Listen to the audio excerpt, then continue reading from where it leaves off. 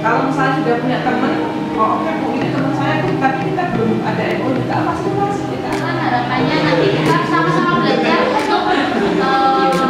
mengarah ke sana. Jadi karena sama ini tidak tidak bisa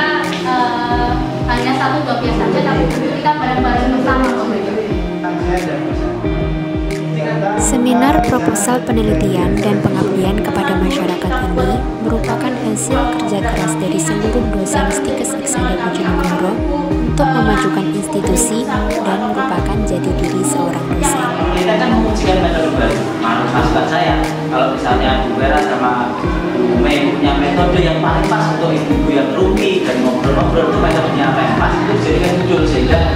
itu nanti menjadikan poin uh, poin apa ya poin ya poin penilaian juga bagi kami menilai oh ternyata ini mengujikan metode baru nah nanti kalau efektif nanti dimasukkan ke kami ke mana nah itu untuk pengabdian masyarakat selalu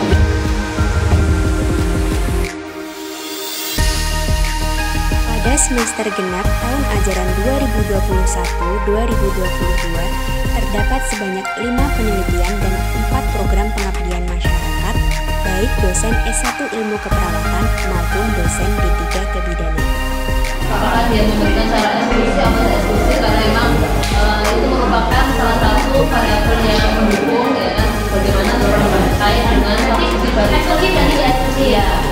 Semoga proposal penelitian dan pengabdian kepada masyarakat ini dapat diimplementasikan dengan sebaik-baiknya sehingga nantinya mampu menghasilkan inovasi dan hilirisasi keluaran yang tidak hanya digunakan untuk diri sendiri akan tetapi juga dapat bermanfaat untuk masyarakat.